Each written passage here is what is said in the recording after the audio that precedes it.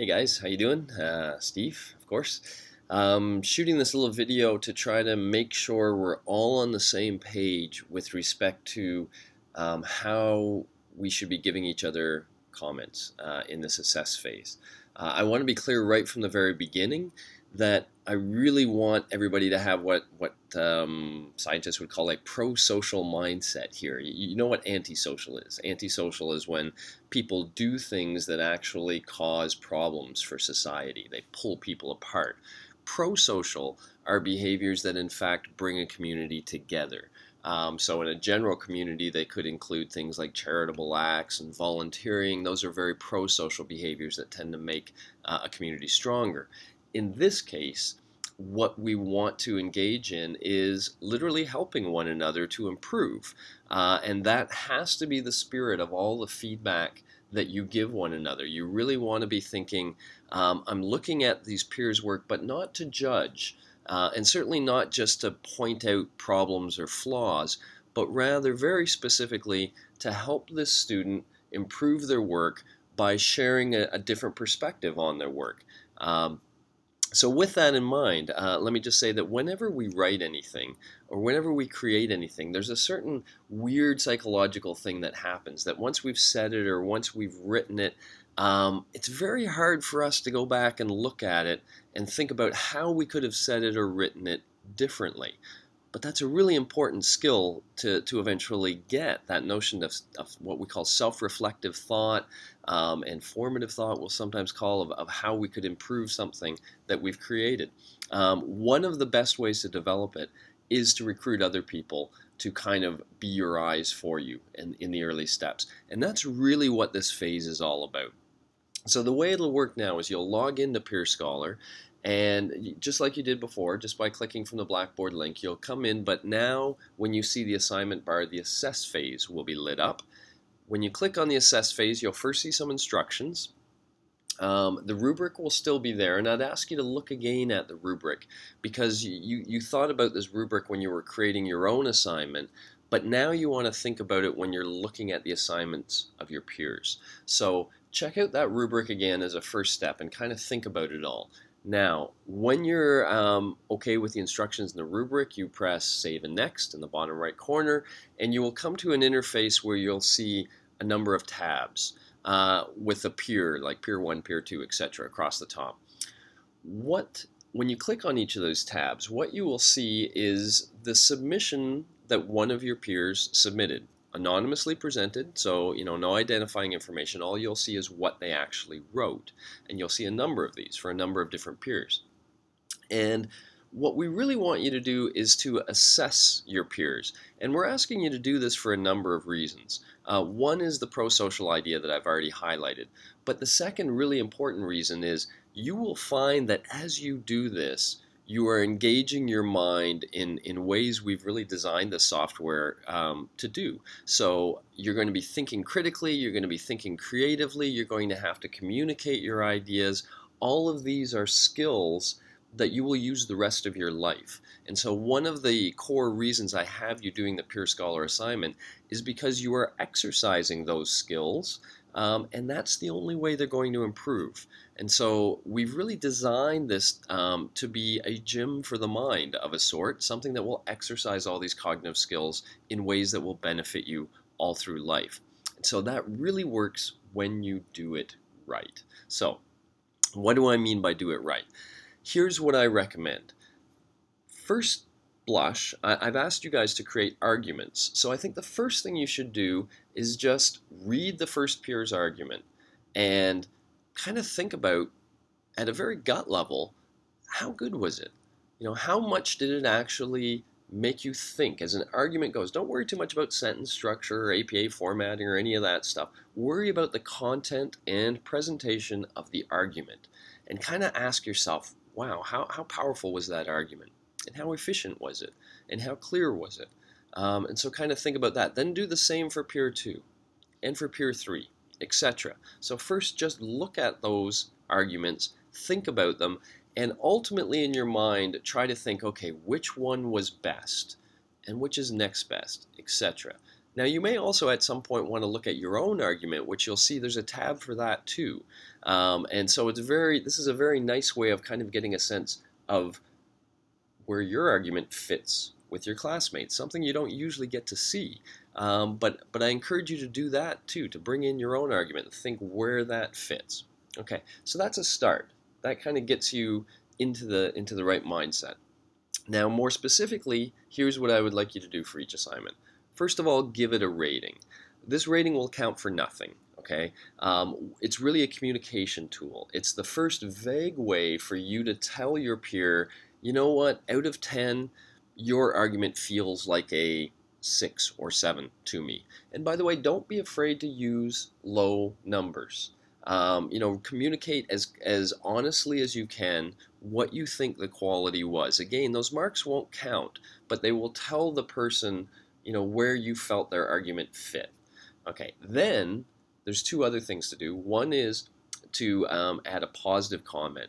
So highlight something this person's already doing well because we want to we want to reinforce those those good behaviors, right? So tell them something they're already doing well. That'll let them know that in the future they should keep doing that. So so that's the first one. But then the second and the most critical is the constructive comment. And here, um, I and the TAs will be looking for two things. So let me get to those two things indirectly. Here's the process I would like you to go through. Read that peer's argument again think of all the ways it could be improved. Um, but then zero in on the one thing. If this person was going to change one thing, what one thing do you think they should change to have the biggest impact on the quality of their work? Okay, so imagine all the things that could be changed, but zero in on that one that you think is, hey, if you change this, you could really improve your work a lot. And now, first thing I want you to do is explain what that current I'll call it a problem is or a weakness. You know, explain as well as you can. Here's the here's the thing that I think you should consider changing. That's one thing I want you to do. The second thing is to then also give this person some idea of how you think they should go about changing it. So don't just say this is a problem, but say, okay, this is a problem and here's what I recommend. And I don't I'm not suggesting you recommend, you know, writing, rewriting something for them or doing anything that concrete.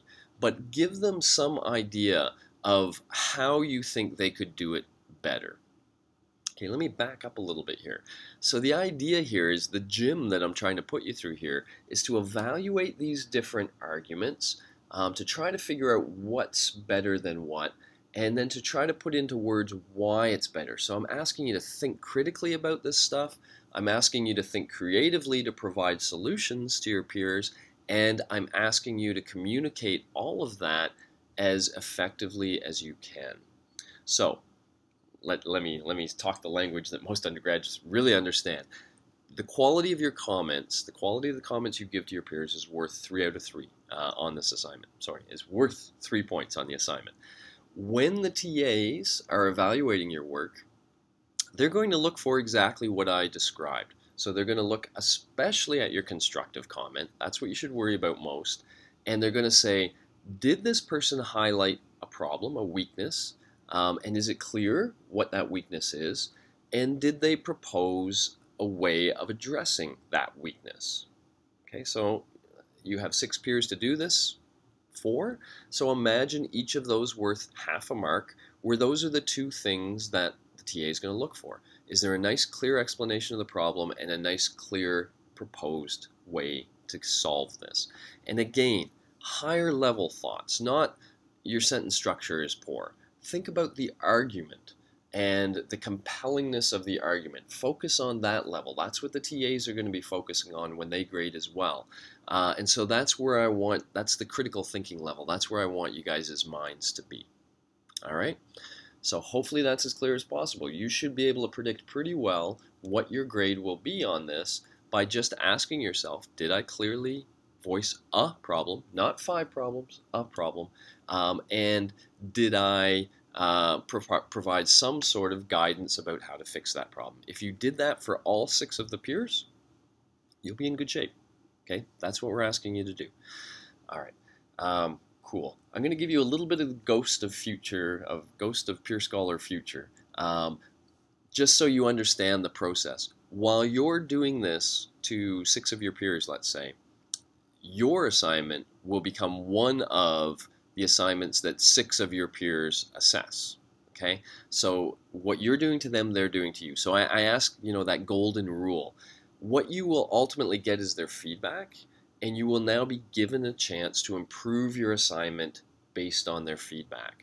Uh, and that will be an easy and cool thing to do if they give you good quality feedback. That's what you're going to be hoping for in the next phase. So I ask you all to kind of think about what you hope uh, what you how you hope your peers will treat your work and that you now treat their work in that same respectful way.